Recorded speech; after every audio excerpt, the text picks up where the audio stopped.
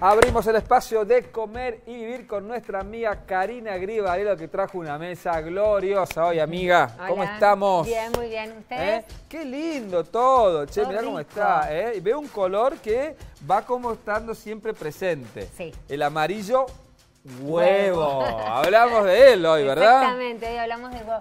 Te digo, Miguel, que si yo tuviese que hacerle un cuadro a un alimento, ¿Sí. Se lo haría el huevo. El- Me ¿en serio? totalmente fanática ¿Fan del- del huevo? ¿Por y no qué? solo por el sabor, ¿eh? Es una bomba nutricional. Eh, Eso contame, Eso contame la importancia del huevo, a Tiene, ver.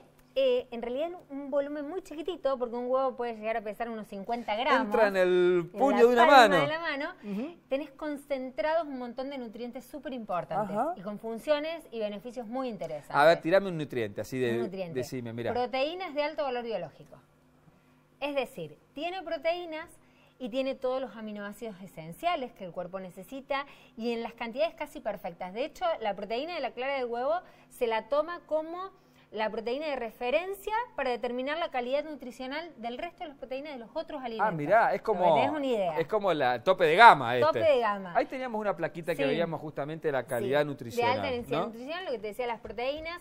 Tiene grasas, tiene grasas, que son las que un poco también le jugaron la mala fama en su época a la yema de huevo. Sí, ¿Te acuerdas que antes sacá había la yema, sac- Sí. tirá la yema, te decían las- bueno, la gente. No, por ¿por suerte, la ciencia avanza, se ¿Y? demostró que las grasas saturadas del huevo y el colesterol del huevo no aumentan el colesterol en sangre, no generan riesgo cardiovascular, de hecho favorecen a tener una buena salud en general y tiene grasas monoinsaturadas y poliinsaturadas que también son esenciales. O sea, la grasa del huevo va y va muy bien.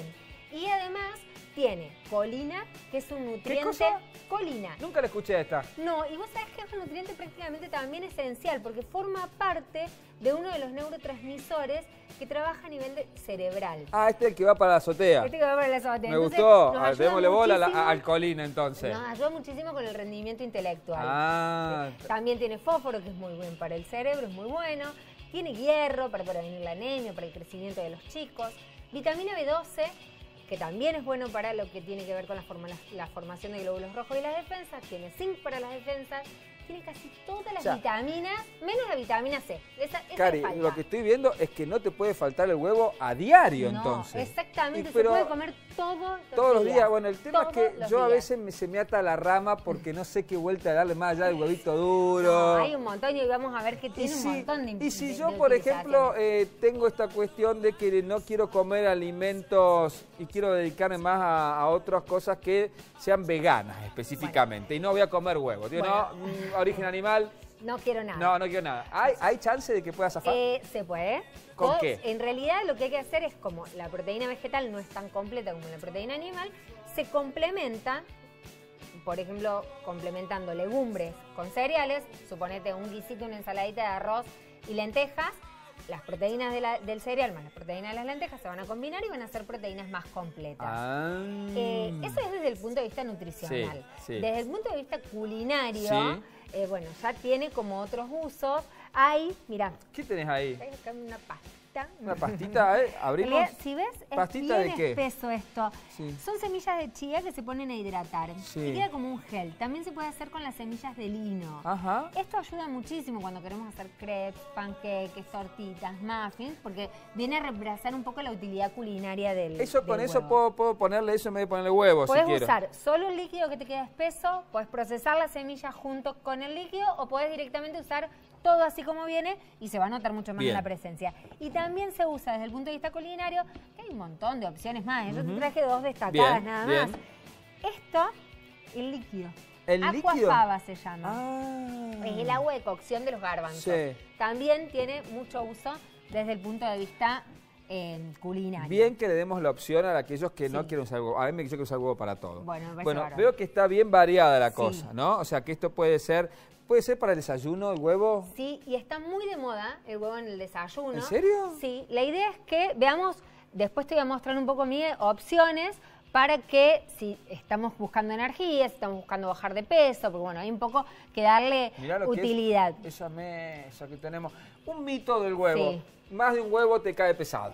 ¿Viste que te dicen, no, no comas mucho huevo que cae pesado? ¿Es cierto? Mira, la tolerancia, el huevo puede tener una digestión un poco más prolongada, sobre todo el huevo duro, Ajá. pero eh, la tolerancia es individual en esto. O sea, vos podés comer dos huevos al día, podés desayunar con huevo y te vas a sentir bárbaro y hay personas que comen huevo a la mañana y les cae mal. Así que eso lo personalizamos. Déjame contarte un dato curioso y muy interesante. Viste como yo te decía que era un alimento casi perfecto. Sí. En Ecuador, por ejemplo, para eh, tratar la desnutrición infantil, Sí. un huevo al día. Hay un estudio que Ah, estuvo mirá. muy interesante también desde ese lugar. Hubo estudios también que mostraron el tema de cómo no aumenta el azúcar en sangre o ayuda a controlar mejor la glucemia en las personas con diabetes cuando incorporan el huevo en el desayuno. Perdóname, ¿no? Sí. Yo le voy a incorporar el desayuno, pero Sí. así, frito o esto no es frito? Eso no es frito. Eso no es un huevo Eso- frito. No, Nah, no, ¿qué no, me no. va a mentir no. huevo frito eso? No, está hecho a la plancha y mi plancha la pinté con un poco de aceite de oliva. Lo puse a freír. Ah, mirá. El aceite de oliva aguanta bien el calor, tiene omega 9, que también son grasas de esenciales. comer un Así huevito. que, no, no. A ver, si la fritura está bien hecha, si usas un aceite como el de oliva Sí. que resiste el calor, usas la grasa, la manteca, Sí. bueno, ya no es un problema dentro de la alimentación. Bien. Pero nada de poner aceite de maíz o de girasol y de huevo, porque todo lo bueno que tenía el huevo lo, arruinamos. Lo arruinamos, Lo ¿no? arruinamos. Me encantó la mesa. A la vuelta vamos a probar y, a, y algunas recetitas también. Ahora, pausa, amiga. Dale.